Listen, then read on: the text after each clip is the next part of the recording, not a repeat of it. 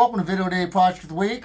My name is Greg Broussard with Handcrafted by GR Broussard, and today we have a special treat for you. I'm going to show you the way that I insert bow ties. The key to insert these bow ties is you have to hold it steady. Now I'm going to keep my arm up high so you guys can see it.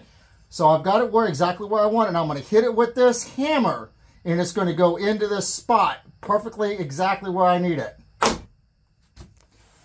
That's exactly how you undo it. That's how you insert the, the bow ties. It's exactly the method that I would use. So the next time you need to insert a bow tie, use the Greg Broussard method. Works every time.